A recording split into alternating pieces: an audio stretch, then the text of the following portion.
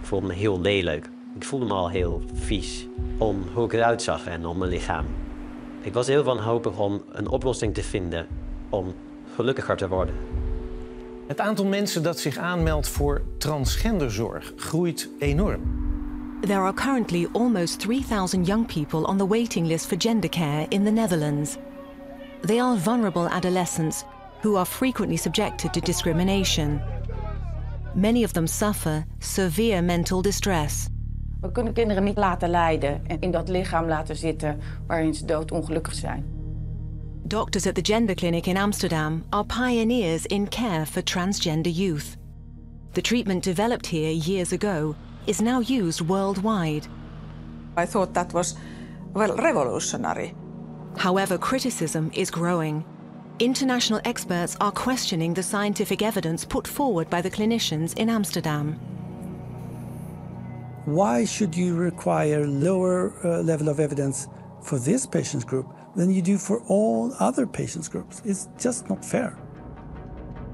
Zembla investigates the Dutch Transgender Protocol.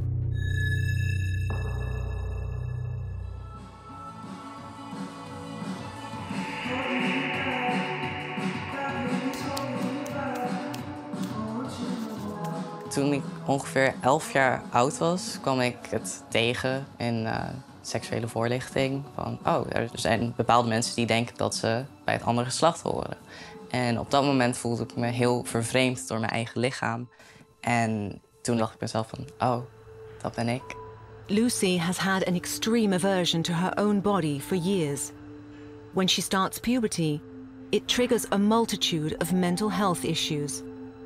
Paniekaanvallen op school, het was gewoon super heftig. Ik, zo zoveel tranen. Ik heb, ja, ik heb het echt heel moeilijk gehad daarmee. Um, ik, als ik daarop terugkijk, dan denk ik van wauw, hoe, hoe ben ik daar doorheen gekomen? Three psychologists conclude that Lucy has gender dysphoria. This is a profound sense of being born in the wrong body. When she is 16, she receives treatment from the gender clinic. Ik dacht van, oh, dit is het voor mij. Als dit eenmaal gefixt is, dan kan ik gewoon een normaal leven leiden. Toen mocht ik met hormoonremmers beginnen. Iedere maand naar de huisarts om dan echt gewoon een dikke gel in mijn been geïnjecteerd te krijgen. Echt verschrikkelijk. Maar uh, ik had het wel echt nodig. The next step is surgery. Ik was oprecht zo gelukkig. Ik voelde me eindelijk bevrijd. Alsof ik eindelijk mijn lichaam ja, de baas was. Lucy is treated at the gender clinic of the Free University in Amsterdam. In the 1970s, it is the first clinic in the world to offer treatment for gender dysphoria. Uh, mag ik dat vragen aan professor Bouwman, plastisch chirurg van uh, het VU ziekenhuis in Amsterdam? In those early years, trans adults can receive medical treatment there. We hebben een dienend beroep als arts. En uh, als je zeker ervan bent dat we hier met iets te maken hebben wat, ja, wat heel reëel is. Hmm. En dat de geest niet te veranderen is. En dat we in dit geval dus het lichaam mogen veranderen. Hmm. Ik denk dat dat mag. Children with gender dysphoria do not receive medical treatment. But that changes in the 90s. Once again, the Netherlands leads the way. Nederland is vooralsnog het enige land ter wereld waar men het aandurft kinderen te behandelen voor transseksualiteit. From then on, minors are also treated. The clinicians in Amsterdam have devised a revolutionary treatment for children with lasting gender dysphoria. They halt puberty using so-called puberty blockers. Sabina Hanema is a pediatrician specializing in hormone treatment. At the Amsterdam University Medical Center, she prescribes puberty blockers for children with gender dysphoria. Nou, voor jongeren bij wie hun lichaam niet past bij hun genderidentiteit, is de puberteit vaak een hele moeilijke periode, omdat ze lichamelijke veranderingen ondergaan die dus niet passen bij hoe zij zich voelen. Met de puberteitsremmers kun je de geslachtshormonen, de productie daarvan onderdrukken. En dat zorgt ervoor dat je die kenmerken, uh, zoals een lage stem bijvoorbeeld, uh, niet krijgt. Ik heb mezelf gesneden en dat soort dingen, omdat ik gewoon echt een afkeer had naar mijn lichaam. Amber received treatment from the gender clinic in Amsterdam. We are not using her real name because she doesn't want people to know she's transgender. Je bent natuurlijk al een kind wat al niet lekker in een groep ligt, dat gepest wordt omdat je niet uh, jongensachtig genoeg bent. En dan klopt de puberteit uh, aan de voordeur. En dan word je ineens geconfronteerd met, oh je moet ook man worden. En dat is iets waar je gigantisch tegenop ziet. Dus psychische klachten, depressie, zelfmoordneigingen, door wat er met je lichaam gebeurt.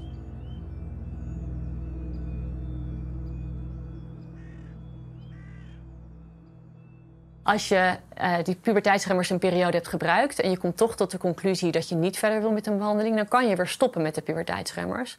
En dan komen je eigen, komt je eigen hormoonproductie weer op gang en gaat je eigen puberteit weer, uh, weer verder. Dus omkeerbaar?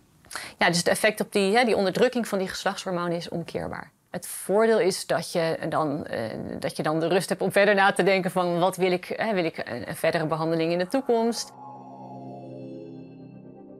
Time to think carefully about a definitive transition.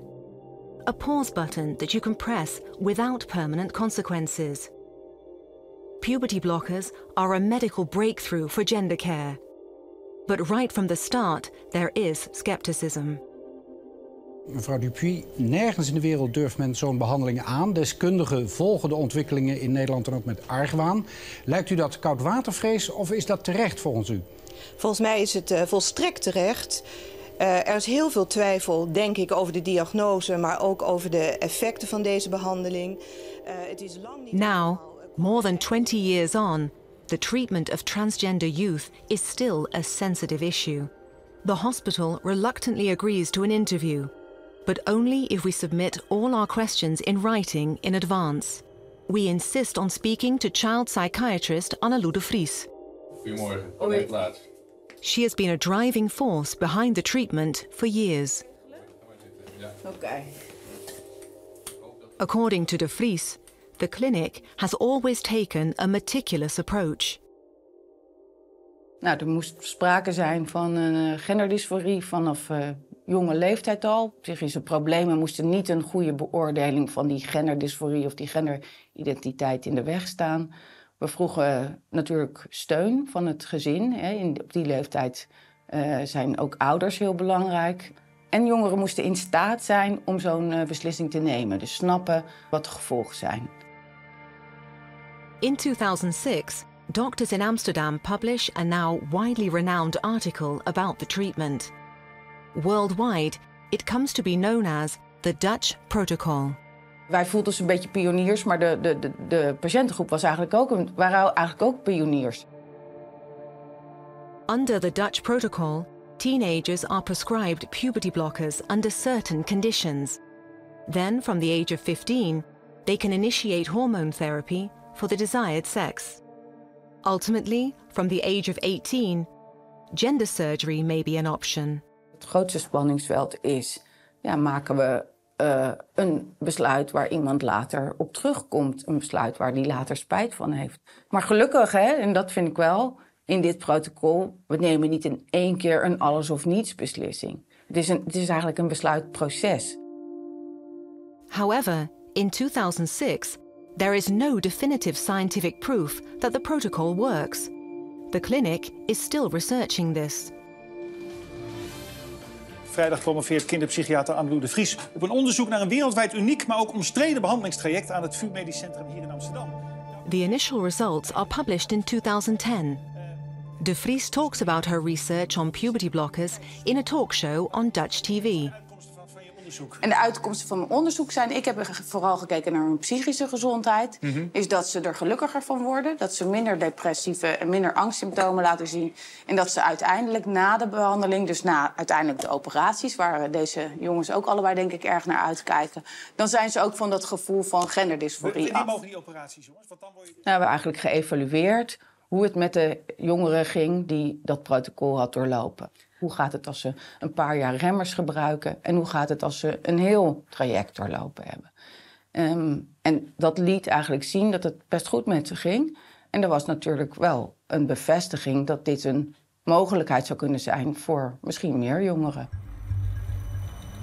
That is exactly what happens. More and more young people start applying for gender care. From a few dozen in 2013, the number has skyrocketed in recent years.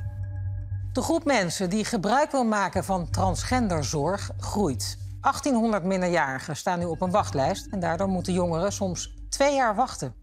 That figure has now risen to almost 3,000. Many of the new patients are eligible for puberty blockers after an intake. It's an honor to be here, and um, There is a lot of interest from abroad in the Dutch protocol. In 2016, the Amsterdam Clinic organizes the World Gender Symposium, which is opened by Queen Maxima. We hebben ook dagen georganiseerd waarin we workshops gaven, waarin we nou ja, collega's uit de hele wereld uitnodigden. Ook zijn er veel meer klinieken opgericht eh, die uiteindelijk ook dit, eh, deze zorg zijn gaan bieden. For our investigation, we travel to a number of clinics abroad that have embraced the Amsterdam method. Our first visit is to the hospital in the Finnish city of Tampere. I remember that the Dutch team organized then a big seminar. We had a lot of exchanges, particularly in the early years when we were just wondering what we should be doing. So we thought that, well, this seems to be the, the top of the knowledge nowadays, and, and everybody's enthusiastic. And so obviously, we should also be following this path. But little remains of that initial enthusiasm. Looking back now, I made this mistake. I should have noticed that the Dutch actually carried out only one study. I also bought the idea that this was the evidence that young people are benefiting and getting better. That I should have seen. Psychiatrist Kaltiala starts to have doubts. The adolescents that come to her do not appear to be at all like the patients in the Amsterdam study. For example, there are almost no teenagers with child onset gender dysphoria, which was an important criterion for treatment in Amsterdam. We mainly saw people for whom this became actual during adolescent development. And contrary to the literature, they were presenting with severe psychiatric disorders, such as major depression, severe eating disorders that required inpatient treatment, which means that they didn't correspond to the original Dutch model at all. Kaltiala's doubts increase when she starts treating the patients. When we started to treat some young people, then our clinical observations started to underline that they, they were not getting better in terms of mental health and functioning and adolescent development. Skepticism is growing. We see that other countries are also starting to question the Dutch treatment protocol. Kvällens reportage tar upp ett ämne som är känsligt och som hittills inte diskuterats öppet i Sverige. Swedish investigative reporters reveal that gender clinics offer inadequate treatment, and doctors openly question the research on puberty blockers. Låg evidens för att behandlingen har önskad effekt, skriver ni. Ja. Ingen ska ju behandlas om vi inte vet att det är säkert och har en god effekt. Our next port of call is the University Hospital in Gothenburg, Sweden. Child psychiatrist Angela Sumfjord was involved in the opening of a gender clinic here in 2016. In the preparation for our opening, I read the, the studies from the Netherlands and the Dutch protocol. What was the importance of the Dutch studies? Oh, it's Uh, it's very important. It's the you know it's the base for the whole gender uh, uh, care in the whole world, definitely.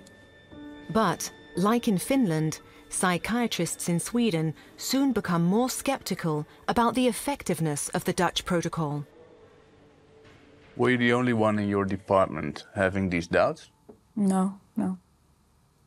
We all had. We started wondering because the patient group didn't seem to be the same group as, as the studies from uh, the Netherlands. We had a lot of adolescents who had a, a late onset of gender incongruence in uh, puberty, and they had a lot of uh, neuropsychiatric uh, symptoms uh, like autism. That was not uh, no, explained in the studies from the Netherlands.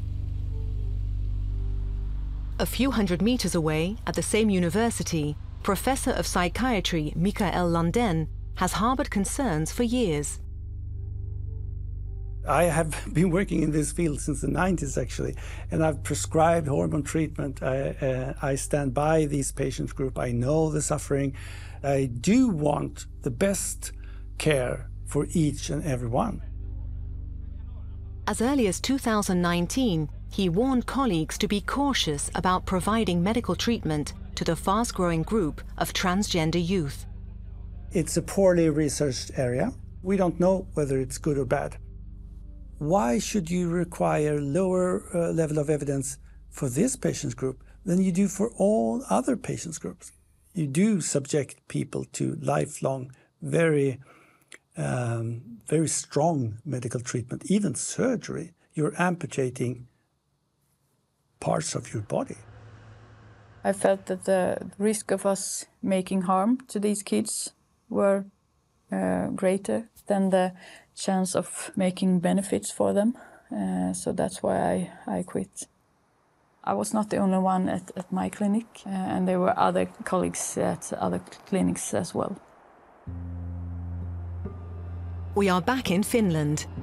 Psychiatrist Kaltiala publishes her conclusions in a scientific article. Since then, she has been the target of worldwide criticism. I am aware that uh, not everybody's talking positively about me. She is accused of being transphobic and opposing transgender care. Some colleagues working in the field have seen the similar phenomena, but, but they didn't feel safe to talk about it because this field is so highly politicized. But I am only interested in uh, scientific evidence because uh, medicine can also do harm. Following the publication of Kaltiala's findings, the Finnish Health Council restricts the use of the Dutch protocol. This treatment is motivated by saying that it will improve the young person's mental health, decrease suicidal ideation and actual suicide, and it will improve their functioning, then my interest is, of course, in where is the evidence that these outcomes will follow of this treatment. Therefore, it is an imperative, of course, to carry out research. Bent u het ermee eens dat wat zij zegt, dat voor die nieuwere groep die zij daar zag, het Nederlandse protocol eigenlijk niet van toepassing is? Er moet meer onderzoek naar moet, gedaan worden? Er moet, nou, ik, ik denk dat we niet goed weten of het, uh, of het geschikt is ook voor nou ja, de nieuwere groep. Daar moeten we inderdaad uh, naar kijken. Dat is eigenlijk ook onderzoek wat nu loopt, waar wij nu ook mee bezig zijn. What de Vries says here is important. The gender clinic does not know whether the protocol is appropriate for the new applicants. That remains to be seen. We see that De Vries applied for a government subsidy in 2021 to study the new patient group.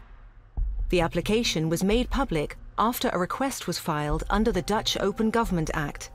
It becomes clear that she is looking for the missing evidence for the Dutch treatment model. In dat onderzoeksvoorstel heeft u het over het ontbrekende bewijs.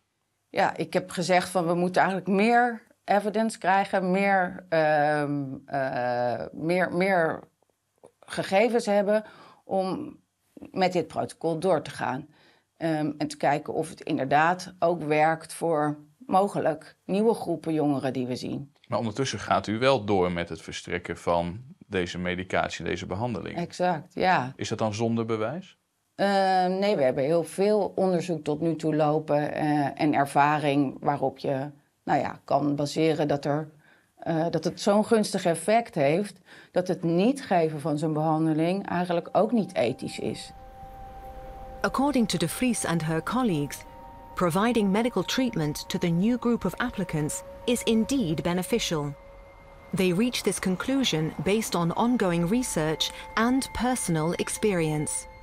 Ik heb de jongeren in mijn kamer en hun familie zo opgelucht gezien en zo uh, ontzettend ook zien opknappen van zo'n traject. En daarvoor gaan we door met de zorg, met goed evalueren of dat voor alle jongeren die zich bij ons aanmelden een geschikte aanpak is. There is one golden rule in science that evidence becomes stronger if other researchers achieve the same results. So far, only one institute has tried to replicate the Amsterdam study the Tavistock Clinic in London, one of the largest gender clinics in the world. So there was pressure here in the UK for the Tavistock Clinic to do something similar. And eventually they set out to do their own research study and try to replicate the results of those Dutch studies.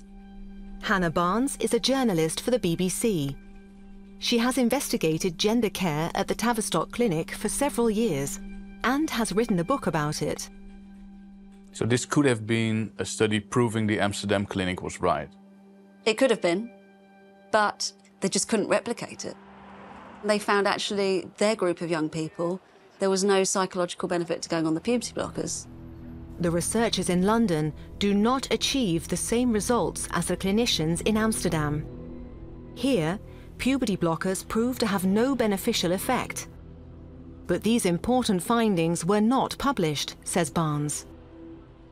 It took a decade from the beginning of the study to formally publish the results, by which point the practice had rolled out. Probably at least 1,500 young people have been put on puberty blockers, for which there are no data in this country to really support the benefit of. The Amsterdam Clinic is well aware of the disappointing results in London because at the 2016 World Gender Symposium, the director of the Tavistock Clinic makes a noteworthy statement. I guess the other thing is that our results have been different to the Dutch. We're about to publish these, and we haven't seen any change in terms of psychological well-being and so on. And she told them that. Our results are not the same as the Dutch. We haven't found this, and yet they continued. We start to question how the Amsterdam research was conducted. The psychiatrists we speak to in other countries doubt that it was done thoroughly. Really, I should say now that the, this research was uh, never able to demonstrate that the young people get better. The most fundamental question is what would the outcome have been if we did nothing? We have no idea. This is entirely due to the way the Amsterdam study is conducted. De Vries follows 55 patients who first receive puberty blockers and then cross-sex hormones. At the same time, they also receive psychological counseling.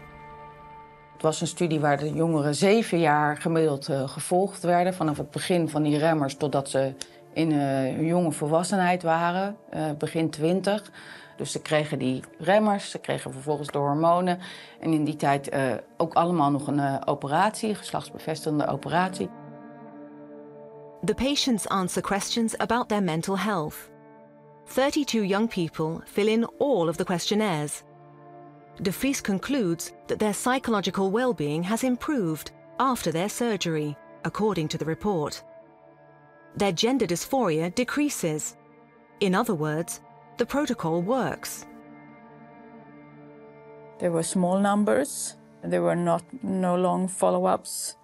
Uh, so you you know that the scientific base was, you know, weak. We also see that one of the patients died. Eén patiënt overleed die deelnam aan het onderzoek. Nou, ik heb, we hebben, wat dat betreft hebben wij volgens mij altijd opgeschreven wat er hier gebeurde. En ik, ik heb me toen wel over verbaasd dat niet meer mensen daar toen uh, naar gevraagd hebben. Want dat was voor ons toen een hele schokkende gebeurtenis uh, in ons team. Too little attention has been paid on the fact that one patient actually died of the complications of uh, gender surgery. If you think that one from, from 70 died, then it's quite a percentage dying if you're talking about young people. Wat gebeurde daar? Het was een operatiecomplicatie.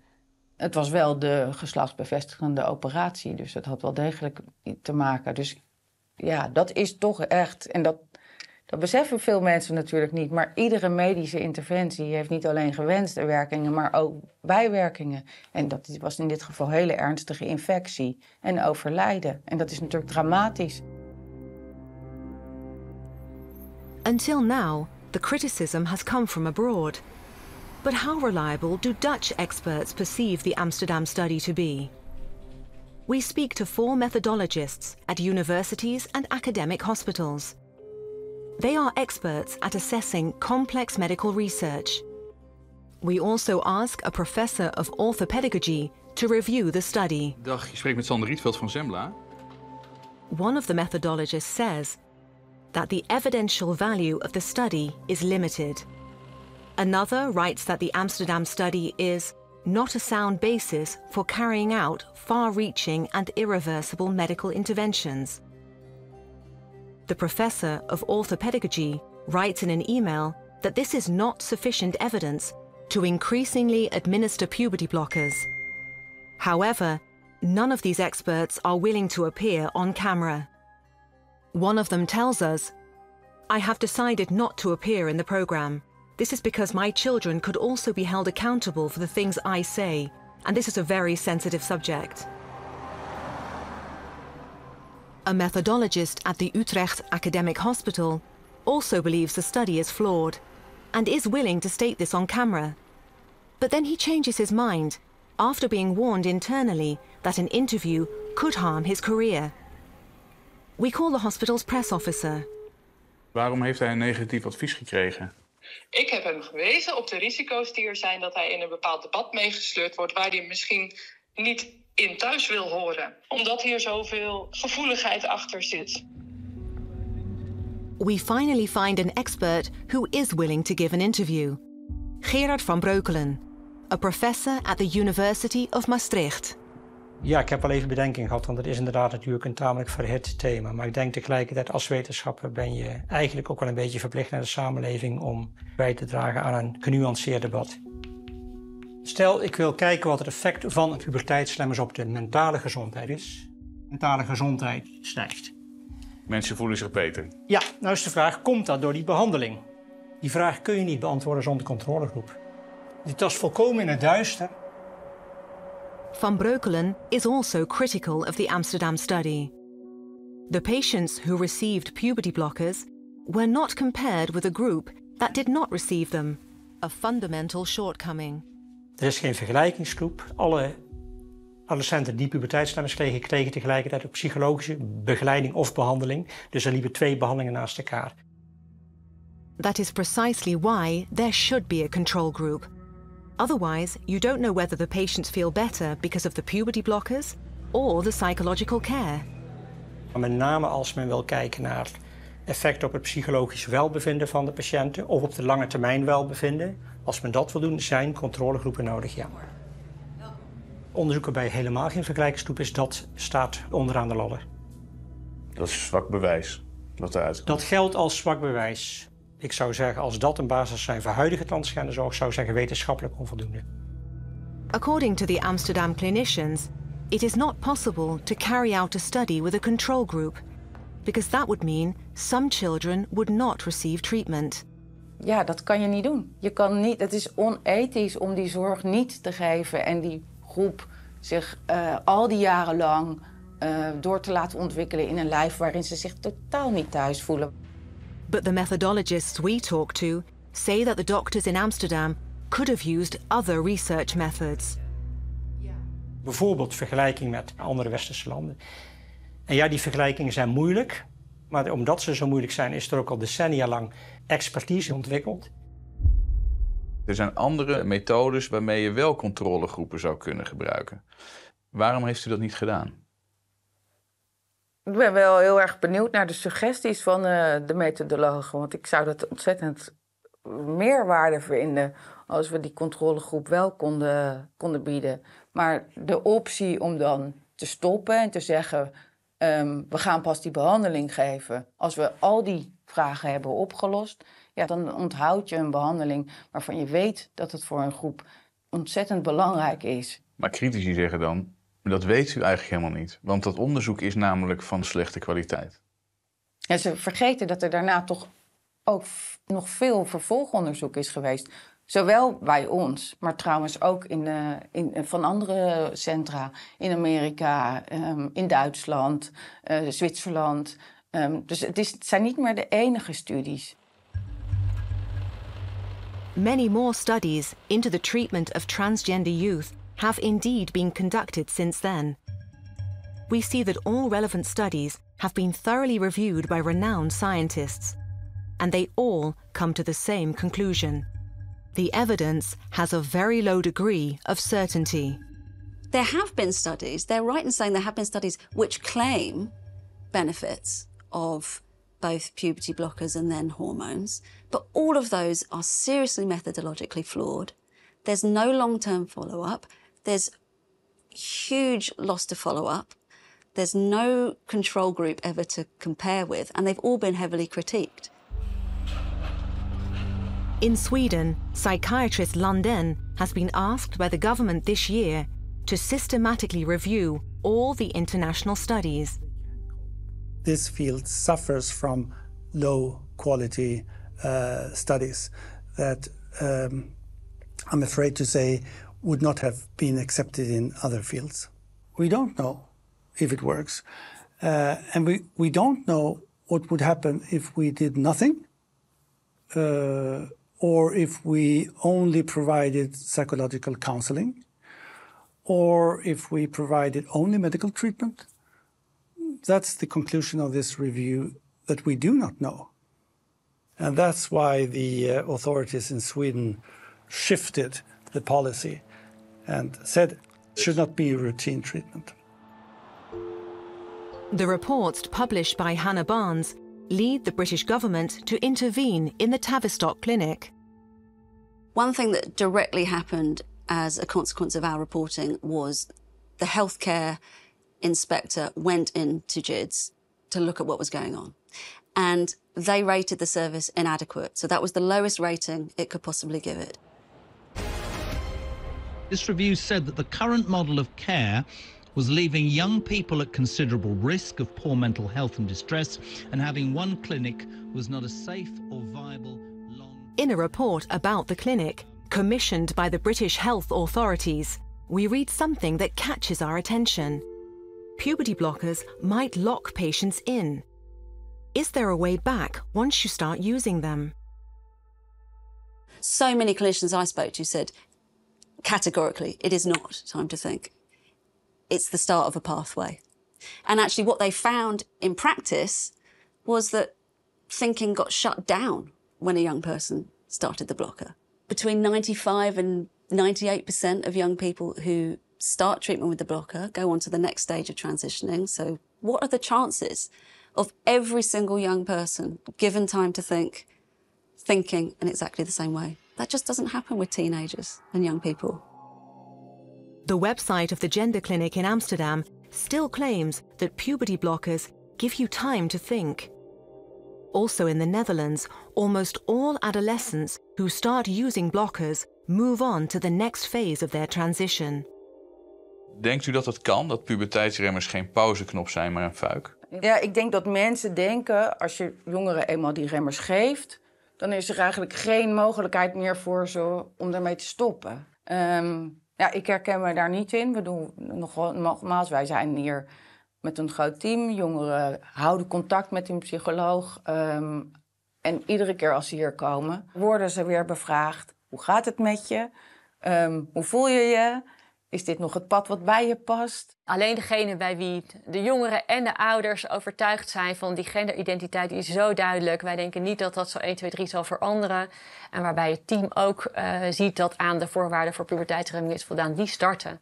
Maar goed, je weet natuurlijk niet hoe het gegaan was als je puberteitsremmers niet gegeven had. The British government has meanwhile decided to close the gender clinic in London and provide care in a different way.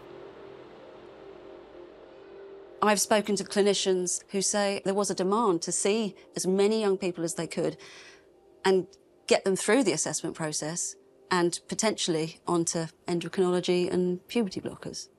Some of the clinicians who did that work, they themselves fear they've been part of a medical scandal.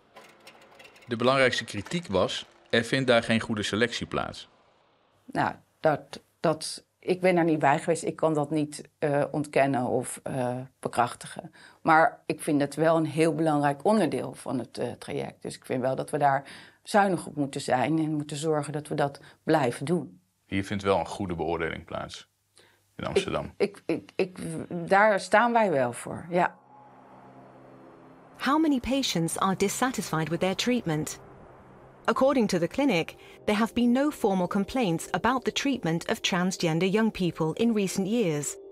The Health and Youth Care Inspectorate also tells us they have not received any reports. Transvisi, the advocacy organisation for transgender people, says the number of complaints is minimal, but is not willing to share the exact figure with us. Ik was nooit echt ontevreden met dat ik een jongen was. Dat kan pas later in de puberteit. But there are young people who accuse the clinic of negligence. Two of them want to be interviewed anonymously. We have disguised their voices. Ik voelde me heel eenzaam. Ik denk dat dat het vooral was. Ik val op jongens. Ik ben, nou ja, homoseksueel. En dat was in mijn middelbare school niet echt geaccepteerd. Martin has almost reached the end of puberty by the time he is allowed to start his treatment. He says that the Amsterdam clinic ignored important warning signs. Mijn moeder heeft haar zorgen geuit. Die heeft gezegd dat zij het nooit heeft gezien en dat zij er twijfels bij heeft. En zij is bang dat het te maken heeft met andere dingen en dat ik gepest werd en dat ik homoseksueel ben. Achteraf had ze 100% gelijk. Um, maar ook in het vuur luisterde ze niet naar haar. Ze hebben eigenlijk haar soort van bestempeld als transfoob. Alsof zij gewoon niet wilde dat ze een transkind had. Ik heb dus gesprekken gehad met mijn psycholoog aan het begin van mijn transitie. Dat ik me nog niet comfortabel genoeg voelde om als meisje over straat te gaan. Waarin ik gepusht werd vanuit haar van ik wil dat je de volgende keer als meisje hier naartoe komt. Weet je, dat vind ik gebrekkig. Vervolgens heb je geen bescherming, heb je weinig om op terug te vallen. En moet je maar mee dealen. Amber is critical about the gender clinic, but she is happy with her gender reassignment. For Martin, it's a different story. He decides just before his gender surgery to stop his transition. En toen begon ik me ook wel af te vragen van... is mijn leven hier nu eigenlijk beter voor geworden of niet? Conclusie was eigenlijk niet. In his medical records, we read that Martin is also constantly told by the clinic that he should start wearing women's clothing. It's a part of the so-called social transition. Otherwise, he can't move on to the next phase, in which he'll be put on female hormones. Ik heb letterlijk toen tegen gezegd, als ik dat doe, dan voel ik een man in een jurk. En daar voel ik me niet prettig bij en dan ben ik liever gewoon een jongen. Op een gegeven moment ben ik ook dus goedgekeurd voor die hormonen, zonder die fase te doorlopen. En het idee erachter was dat ik dan alvast zeg maar een vrouwelijker lichaam kon krijgen, zodat die sociale transitie makkelijker zou zijn, in plaats van andersom. Ik weet nog dat mijn psycholoog toen over de telefoon zei dat ik dit als een soort cadeautje kreeg. Kent u dat soort geluiden? Uh, ja, ik vind het heel moeilijk om op individuele casuïstiek in te gaan. Want ik zei, wij proberen eigenlijk altijd samen met de jongeren en zijn familie um, de stappen te nemen. Eigenlijk ook op het moment dat ze er klaar voor zijn. Maar die kritiek is, uh, het was niet zorgvuldig. Ja. Althans, dat is wat wij van een aantal mensen horen. Ja, ja. Nou ja, ik, ik denk dat er hè, bij de honderden jongeren die wij hier zien... Uh, zullen gezinnen zijn die zich niet gezien of niet gehoord uh, voelen. Dat is niet waar wij naar streven. Lucy has been on the gender clinic's waiting list for years. She is not given puberty blockers until she is 16. Mogelijk werken die puberteitsremmers als een soort fuik. Zou dat kunnen, denk je, dat dat een rol speelt? Het zou kunnen. Het zou kunnen, maar hoe het voor mij is gegaan... dat de wachtlijsten nog veel meer als een fuik dienden dan hormoonremmers. Oprecht. Ik denk dat omdat ik de hele tijd een soort van in mijn hoofd had van... Ja, ik ben trans en ik zit op deze kutwachtlijst. Niemand die luistert naar de pijn die ik nu voel... en die het snapt dat ik echt die hormoonremmers nu nodig heb... omdat ik gewoon leid met hoe mijn lichaam eruit ziet, hoe het voelt. Ik denk dat als ik wat eerder hormoonremmers had gehad... dat ik he- waarschijnlijk helemaal niet in transitie was gegaan. Before she starts using puberty blockers, Lucy is a teenage girl with an extreme aversion to her own body. Psychologists mistake this for gender dysphoria, and so she begins the transition from woman to man. Ongeveer anderhalf jaar nadat ik begon met hormonen, mocht ik eh, mijn eerste borstoperatie ondergaan. En kort, redelijk kort daarna, ehm, ik denk zes maanden of zo daarna, werd mijn eierstokken en mijn baarmoeder verwijderd. For some years, she is really happy as a man, she tells us. But after a while, Lucy starts to have doubts. Is this really right for her? En ik dacht bij mezelf van, ik wil niet meer.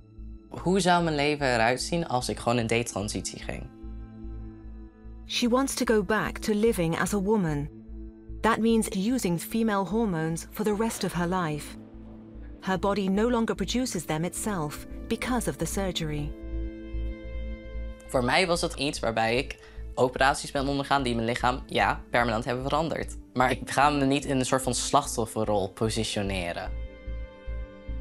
Ik heb mijn keuzes gemaakt en ik kan er ook mee leven.